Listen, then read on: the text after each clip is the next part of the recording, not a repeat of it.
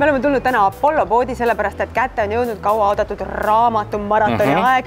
paljud raamatud on väga palju soodsamad, kuni miinus seitsekümmend ja me tulime täna appi, sellepärast et me teame, et sellel ajal on tööjõudu, abijõudu kindlasti vaja. Piret Huvit, näed, see sooduka raamat, see võiks sulle sobida ma ei tea, võib-olla võib, see ka, iga inimene võiks selle kohta teada. ja ühtlasi lugu on väga lihtne, kui on raamatupoes on kaks assistenti või abilist, siis minu eesmärk on ikkagi võimalikult palju raamatuid müüa, sest Apollol on alati raha vaja ja raamatuid on inimestel ka vaja, nii et eh, mina teen siis kõva müügitöö tere, Piia. tere, liigume siis siiapoole.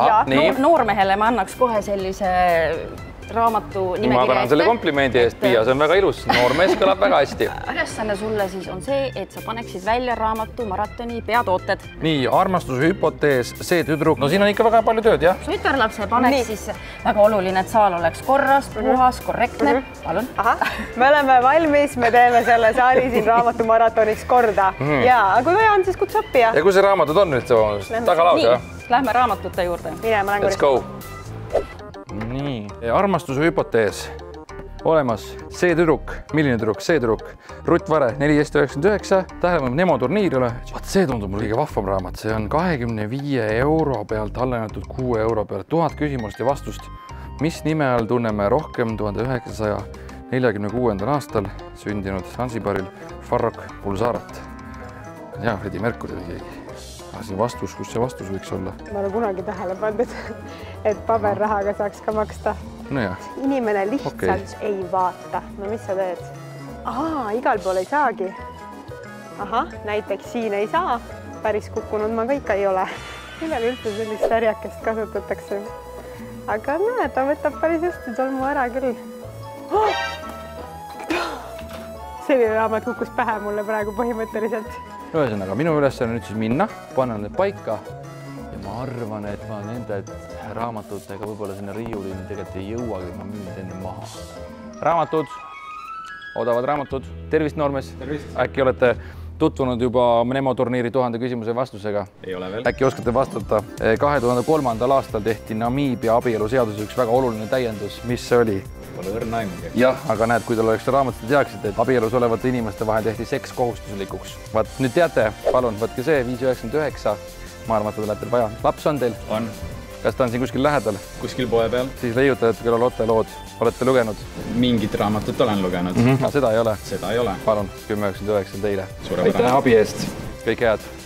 Neid raamatuid ei pea välja panema lihtsalt raamatuid, odavaid raamatuid. ma mõtlesin, et Robbie on juba käruga jõudnud, aga ei ole. Kapilinski Õnnepalu kirjad, väga hea lugemine.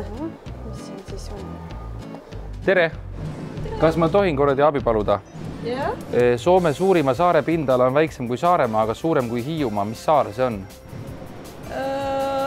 See on Soisalu, see on tuhat kuussada kolmkümmend viis ruutkilomeetrit. ma tahaksin, et selle raamatu ostaksite, sellepärast et siin on väga palju tarkuseid. oskate öelda, mida tähendab sõna giljoš uh,? mõni vihje? mitte guljaš, vaid äh, giljoš. mõni muu supp siis? vaat see läks praegu teil mööda. see on tegelikult lõikuvaist või põimuvaist joontest võrk rahamärkidele, mis raskendab võltsimist. mis teie lemmiktoit on? guljaš?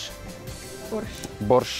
vot tegelikult ei ole otseselt raamatute järel vinüüli ostma. ja, aga me raamatut läheb alati vaja. kas teil TikTok on? ei. minul ka mitte, aga see on TikToki sensatsioon, ma pakuks selle ka teile. siin äh, ei ole Borishi, nii et siin saate kõiki toite, mida te varem tõenäoliselt teinud ei ole. kas soovite mõnda raamatut veel? kui teil on midagi romantilist siin pakkuda mulle? ja Tuhat sõna ja pilti, see on väga romantiline, see on üks armsamaid raamatuid, väga romantilised loomad. Need on kõik meie raamatumaratoni hitid kõige suuremate allahindlustega. kas te mõnda sõna olete kuulnud? siin on veel tuhat sõna. ilusat raamatumaratoni teile, ma väga tänan teid teie panuse eest, kõike head. ma müün selle riiuli ennem puhtaks, kui siin asjad otsa saavad. raamatuid, odavaid raamatuid, odavaid raamatuid oh, sinnapoole ka. mulle tundub, et ma hakkan vaikselt kassadega ühele poole saama oh!. nii korras, korras. ilukirjandus. Piretikene, kujutad no. sa pilti, kas sa arvad, et ma pidin laost tooma nii palju raamatuid välja äh,? päris vähe jah mm. -hmm. ma pidin tooma neli korda rohkem. aga lihtsalt ma müüsin tee peal maha. kuhu sa müüsid need? ma tegin aktiivmüüki. sul on töö tehtud siis jah? mul on töö tehtud, Piret. väga hea. vaat see on aktiivmüük ma panen praegu silte välja, aga see on üks hea töö, sellepärast et ma saan samal ajal ka korra vaadata pilgu, et noh, mida siit hea oleks koju kaasa võtta. sul on ju praegu lapsed teema. ah, just panin välja, tule mis, vaata. sa hakkad mulle Piret müüma või? jah, ega sa ei minul pea mulle müüma, Piret. tule, tule, tule, tuleme vaatame seda. ise panin sildi välja muuseas mm. -hmm. Popi ja Molli mm., megategelased, ülinunnud, meie kodus on need raamatud olnud. issand jumal, ta tuleb õpetama, kuidas aasta müügimees Aa, raamatut. Piret, mul on, näed, mul on riiul tühi, ma lähen müün veel sada raamatut maha. mine, mine, mine, mine. vaata, kuidas mees ammutab informatsiooni. näha, et mees on saanud õige kirjandusteose enda kätte. vaat see teeb südame soojaks. tere jälle, ma vaatan, et see Nemo turniiri läks ikkagi hinge, eks ole. ta on päris huvitav tõesti. jah, mees, kes ammutab tarkusi Nemo turniiri raamatu otse raamatupoes, on sümpaatne. kas ma tohin selle Nemo turniiri raamatu ja leiutajate külla Lotte raamatu teile niisama päriseks kinkida? loomulikult tohib. super, olge tänatud ja mina olen Robert, aasta müügimees, ma jätan selle mehe terve Eesti rahva ette, seda on ilus vaadata.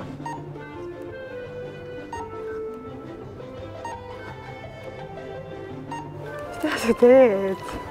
Mul on koristatud kassad siin. Mul on nii igav juba, mul on töö tehtud, Piret. kuule, ma, mul nüüd tuli natuke tööd juurde, ma ei tea, mis toimub praegu, nagu iga nurga peal on neid äh, Raamaturalli raamatuid hmm. lihtsalt kuhjas, et ma pean need nüüd tagasi läksid panema. inimesed raha välja võtma või midagi? ei tea jah, igal juhul ma panen praegu tagasi ära, et. minu töö on tehtud, tšau Piret